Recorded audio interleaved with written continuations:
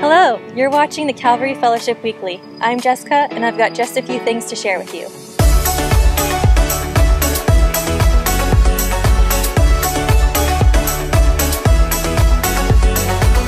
First up, we have a message from one of our missionaries. Katie Van Buskirk is a member of our congregation and a full time missionary that Calvary Fellowship supports.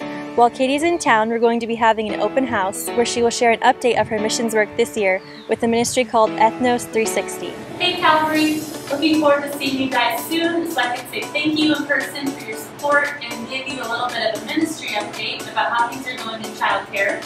Obviously, we're under a little bit of construction right now, so my project this summer is to finish and update these rooms, um, and I'll be sharing more with you about that soon. See ya!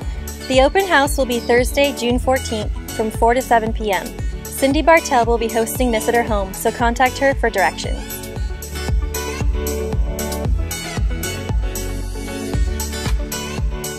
This summer is going to be loaded with fun ways to connect with others here at Calvary Fellowship.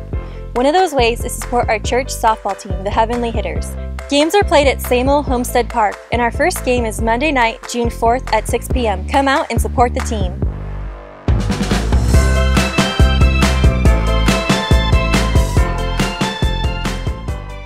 This Saturday is the men's breakfast. Join the men of Calvary at 8 a.m. in the youth room for worship, teaching, and breakfast. Bring food and come hungry.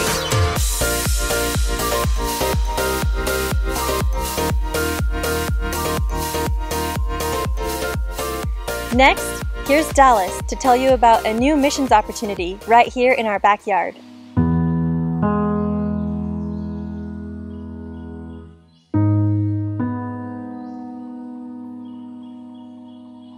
Recently, God put on my heart a passion to live out my faith and give as Jesus did. It's so easy for us to become consumed with our own comfort, and it can even become a barrier between us and God. So I wanted to give you a tangible opportunity to focus on the character of God, which at its most basic is a heart for the lost. We're going to partner with the Kitsap Rescue Mission in Bremerton, not only because of their desire to meet the physical needs of the people, but equally the Christ-focused spiritual needs as well. James 5:20 says, "Whoever brings back a sinner from his wandering will save his soul from death and cover a multitude of sins." Many of these people are held captive by the system and their addictions to heroin and meth. They really need to know that there's a God who cares for them right where they are and that they can overcome this challenge by His grace. We often view missions as a life disrupting commitment that takes us halfway across the globe, but the reality is there's a mission field right in our backyard, and it can be as simple as meeting the needs of the poor.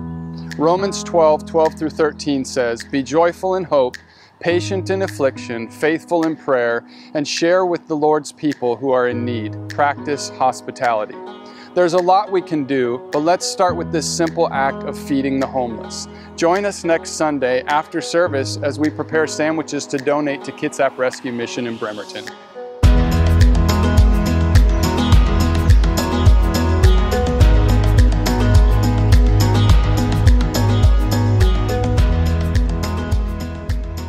And finally, here's Ane with your Basque of the Week.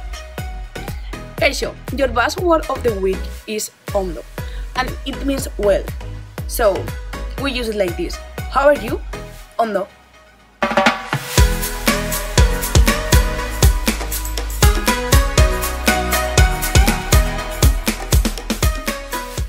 That's all I have for you this week. Be sure to follow us online at Calvary Gig Harbor.